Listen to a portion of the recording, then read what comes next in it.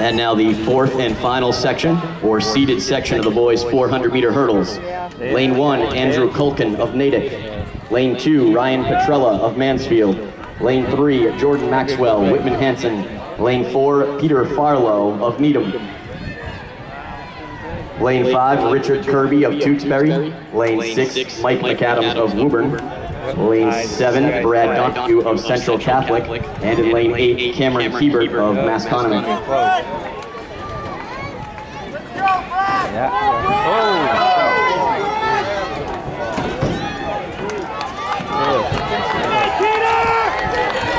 Inside. Ryan Petrella of Mansfield over the final hurdle.